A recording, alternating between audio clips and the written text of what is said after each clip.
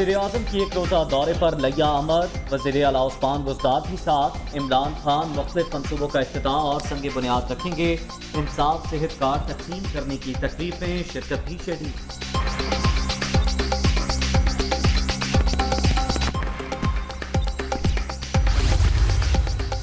वज़ीर अला पंजाब से लिया की नई असम्बली की मुलाकात। साथियों के जायज़ काम हर सूरत होंगे। पसमानदा इलाकों की तरक्की पर वसाइल खर्च करते रहेंगे। उस्मान बुजदार की हलकों के मसाइल, तरजीही बुनियादों पर हल करने की यकीन दहानी।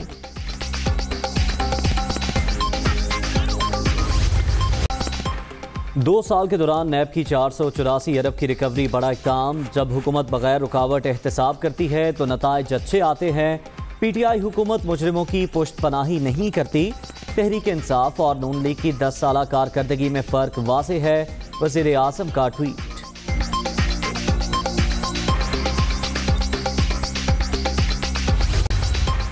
चौधरी निसार कुछ देर में रुकने पंजाब असम्बली की हैसियत से हल्फ उठाएँगे। चौधरी निसार के खिलाफ कोई हुक्म इम्तना नहीं। अदालतों से चेक कर लिया secretary Punjab assembly.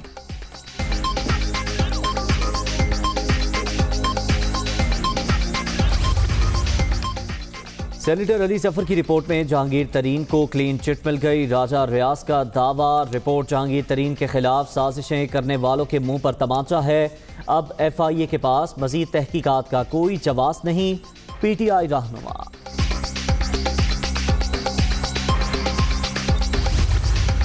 तरीन ग्रुप के बाद तहरीक इंसाफ का हम ख्याल ग्रुप भी एक्टिव। पंद्रह से जायद अरकान का गुजशत रात इशाया बजट में तरक्याती स्कीमें शामिल न करने पर शिकवे शिकायत। तहफात वज़ीर अला पंजाब के सामने रखने पर इतफाक़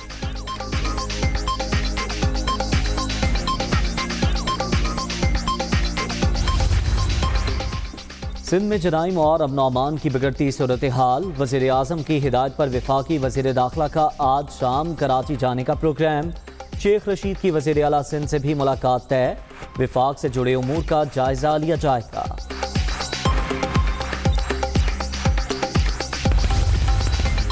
अमन अमान की सूरत हाल पहले से बेहतर। विफाकी वज़ीर दाखिला के सिंध आने की इतला नहीं। हुकूमतें ट्विटर पर नहीं चलती। वज़ीर अला सिंध की शिकारपुर मीडिया टॉक, मुराद अली शाह की शहीद पुलिस अहलकार मुनवर जतोई के घर आमद। अहल खाना से इजहार ताज़ियत।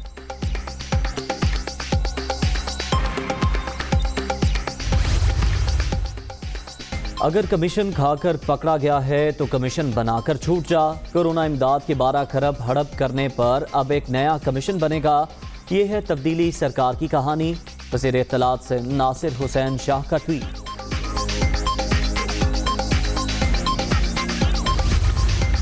सुबह सुबह उठकर ऑपोजिशन को याद ना किया करें। आवाम की तकालीफ देखें। चोर हुकूमत को अवामी मसाइल में कोई दिलचस्पी नहीं।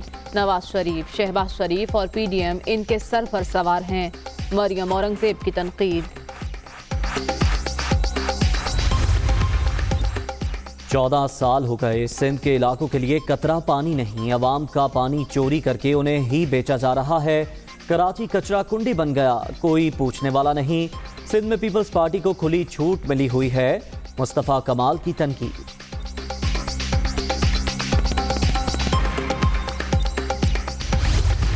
रेकोडिक केस में पाकिस्तान के हक में फैसला, बहुत बड़ी जीत। वज़ीर आज़म ने केस में जाती दिलचस्पी ली। हर सतह पर पाकिस्तान का दिफा करेंगे। मुल्क के लिए आखिरी दम तक लड़ते रहेंगे।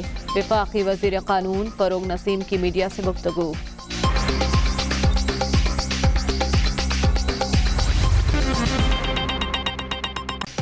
कोरोना की तीसरी लहर मजीद पैंसठ अफराद जान से गए। अब तक बीस हज़ार चार सौ पैंसठ अमवात। चौबीस घंटे में दो हज़ार सात सौ चौबीस नए मरीज़ मोहलिक वायरस से नौ लाख आठ हज़ार पाँच सौ छिहत्तर शहरी मुतासर। मुल्क भर में मुस्बत केसेस की शराह चार आशारिया छः एक फ़ीसद रिकॉर्ड। कोरोना से बचाव के लिए एनसीओसी का हम इकदाम। 19 साल से जायद उम्र के अफराद की वैक्सीनेशन का फैसला। रजिस्ट्रेशन का मरहला कल से शुरू होगा, विफाकी वज़ीर असद उमर का ट्वीट।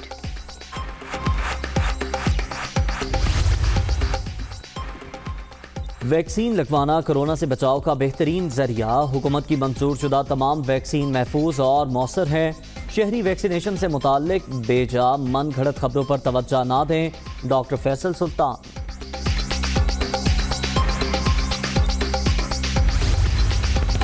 वज़ीर सेहत पंजाब की डिस्ट्रिक्ट हेडकोार्टर्स अस्पताल लिया और वैक्सीनेशन सेंटर आमद। इंतज़ाम पर इजहार इतमान जनूबी पंजाब के लोगों के लिए सेहत की सहूलियात अव्वलीन तरजीह। आवाम का मैार ज़िंदगी बुलंद करने के लिए तारीखी इकदाम उठा रहे हैं, यासमीन राशिद।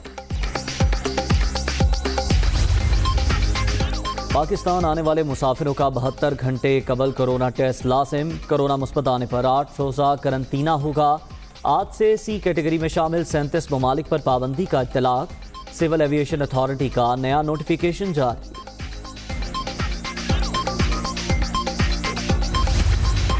सीनियर तरीन जज जस्टिस अमीर भट्टी को chief justice Lahore high court बनाने का फैसला। चीफ जस्टिस पाकिस्तान ने जुडिशल कमीशन का इजलास 10 जून को तलब कर लिया। Chief justice Lahore high court Mohammad Qasim Khan 5 जुलाई को रिटायर हो जाएँगे।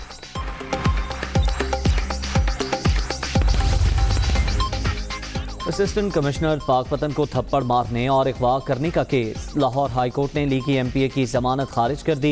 मियाँ नवीद अली अहाता अदालत से गिरफ़्तार।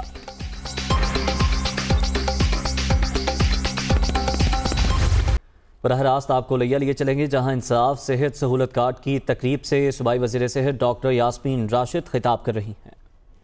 होंगे जिस तरह की इस वक्त, अल्हम्दुलिल्लाह, आप अमेरिका में भी जो इंश्योरेंस है वो बंदे को अपनी इंश्योरेंस खुद लेनी पड़ती है। आज हुकूमत सबको इंश्योर कर रही है और मेरा ख्याल है जितनी बड़ी राज तसीम हमें पेश करनी चाहिए वो कम है। ख़ास तौर पे इन लोगों ने जिन चीज़ को मुकल इन, इन्होंने हमें हेल्प किया है। मैं आपको बताती चलिए शुक्रिया मैं उन लोगों का अदा करना चाहती हूँ। जिन लोगों ने जब से खान साहब ने ये बात कही ये मुश्किल काम है मुश्किल मरहला था हमारे लिए। लेकिन जिस तरह पार्टिसिपेट किया, उसमें ख़ास तौर पर शुक्रिया अदा करना चाहती हूँ स्टेट लाइफ इंश्योरेंस का और नादरा का। क्योंकि अगर नादरा हमारे सारे, ये सारे स्टेटिस्टिक्स जो हैं वो तैयार ना करता और इतने कम अरसे में तैयार ना करता तो शायद हमसे ये काम नहीं होता। और मैं खान साहब, आपका बहुत शुक्रिया अदा करना चाहती हूँ। आपने हमें एक बहुत अच्छे चेयरमैन दिए who is forward looking and has an expanded vision और उसकी वजह से हमारे लिए काम हमारा आसान हो गया। जब से वो तशरीफ़ लाए हैं, उन्होंने भी रात दिन नहीं देखा और माशाल्लाह इस पोजीशन में थे हम कि आज के दिन, क्योंकि हमने इस इलाके के अंदर जो अस्पताल इम्पैनल किए हैं, वो हमने इस वक्त तकरीबन, चौंसठ अस्पताल हमने इम्पैनल किए। डीजी खान और साहिवाल डिजोन में जो प्राइवेट अस्पताल हैं और इसके अंदर, इसके साथ हमने इस वजह से कि जो ये प्राइवेट अस्पताल ऐड की हैं, पंद्रह सौ बेड्स जो हैं, वो इंक्रीज़ किए गए हैं। और ये दाद जो है, ये मेरा ख्याल है, जो इंश्योरेंस कंपनी ने मेहनत की, कि इम्पैनलिंग की। और आज के दिन हर वो अस्पताल जो एम्पैनल है, उसमें इंश्योरेंस का रिप्रेजेंटेटिव बैठा हुआ है।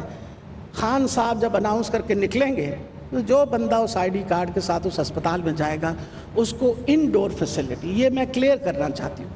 ये दाखिले के बाद जितनी सहूलत होगी, जिसमें डायलिसिस शामिल है, जिसमें खुदा न खास्ता कोई एक्सीडेंट हो जाए, उसका treatment delivery caesarean sections operations surgery surgical operations ये सब कुछ शामिल है इसके अंदर। और सबसे बड़ी ये बात है, जो आज से पहले कभी किसी हुकूमत ने नहीं किया था कैंसर का ट्रीटमेंट कीमोथेरेपी और रेडिएशन वगैरह भी इसके अंदर शामिल हैं। और मेरा ख्याल है ये बहुत बड़ा एक कदम उठाया गया है। क्योंकि सबको पता है कि उसका इलाज कितना महँगा होता है। हकूमत ने अपने ऊपर ये जिम्मेवारी उठाई है। तो मैं ख़ास तौर पे सर, इन दोनों डिपार्टमेंट्स को खराज तसीम पेश करना चाहती हूँ। उन्होंने बहुत बड़ा कदम उठाया है और बहुत हमारी मदद की और हेल्प की। सर दूसरा बहुत अहम काम जो आज लिया में हुआ है और आपकी एन विजन के मुताबिक मुझे आपकी पहली तकरीर याद है जब आप प्राइम मिनिस्टर बने थे और आपकी कंसर्न जो थी that was about mail nutrition आगे बढ़ते हुए आपको बताएँ कि तहरीक इंसाफ तरीन ग्रुप के कौमी असम्बली में पार्लिमानी लीडर राजा रियाज ने दावा किया है कि अली ज़फ़र की रिपोर्ट में जहांगीर तरीन को क्लीन चिट मिल गई है। राजा रियाज का मजीद कहना है कि न्यूट्रल एम्पायर ने जहांगीर तरीन के हक में फैसला दिया है। बैरिस्टर अली ज़फ़र की रिपोर्ट, जहांगीर तरीन के खिलाफ साजिशें करने वालों के मुँह पर तमाचा है। रिपोर्ट के बाद एफ़ आई ए के पास मजीद तहकीकात का कोई जवाब नहीं रहा। रिपोर्ट हक में आने पर अल्लाह का शुक्र अदा करते हैं। कोरोना से बचाव, एनसीओसी का हम फैसला। मुल्क भर में कल से 19 साल से जायद उम्र के शहरियों की वैक्सीनेशन के लिए रजिस्ट्रेशन शुरू हो जाएगी। विफाकी वज़ीर असद उमर ने अपने ट्वीट में कहा कि एनसीओसी के इजलास में 19 साल से जायद उम्र के शहरियों की रजिस्ट्रेशन का फैसला किया गया। कल से कोरोना वैक्सीनेशन के लिए पूरी कौम की रजिस्ट्रेशन शुरू हो जाएगी। इजलास में अब तक चारों सूबों में होने वाली वैक्सीनेशन और रजिस्ट्रेशन के अमल का भी जायजा लिया गया। पीने के लिए पानी नहीं सड़कें खस्ता हाल कुत्ते के काटे से बच्चे मरने के वाकयात। चेयरमैन पीएसपी मुस्तफ़ा कमाल ने सिंध हुकूमत पर कड़ी तनकीद की है। कहते हैं विफाक ने भी पीपल्स पार्टी को सिंध में खुली छूट दे रखी है। बोले सिंध के शहरी इलाकों के लोग बड़ी कीमत चुका रहे हैं। इस चौदह सालों में एक कतरा नया पानी नहीं है। कोई सरकारी अस्पताल में एडिशन नहीं है। एक नई रोड नहीं है। शहर में कचरे का कभी मसला नहीं था, कचरा। शहर कचरा कुंडी बन गया। कोई इदारा, कोई हुकूमत, कोई वफाकी हुकूमत कोई पूछने वाला नहीं है। एक ट्रांसपोर्ट की नई बस नहीं है पंद्रह सालों में। कोई पूछने वाला नहीं है। इस शहर में एक नई नौकरी नहीं है। एक जालिमाना रिवाज, एक जालिमाना कोटा सिस्टम। सिंध में राइज है। उस कोटा सिस्टम पे भी अमल नहीं कर रहे। दर्जनों बच्चों को रोज़ाना कुत्ते काट रहे हैं और हर दूसरे दिन जो है वो बच्चे मरते हैं कुत्ते के काटने से। पीटीआई की कमज़ोर हुकूमत जो चल रही है, वो चली पीपल्स पार्टी की वजह से रही है। आज अगर पीपल्स पार्टी चाहे, तमाम दूसरी जमातों के साथ मिलकर एक घंटे के अंदर हुकूमत खत्म हो जाएगी। तो चूँकि पीटीआई की हुकूमत को यह पता है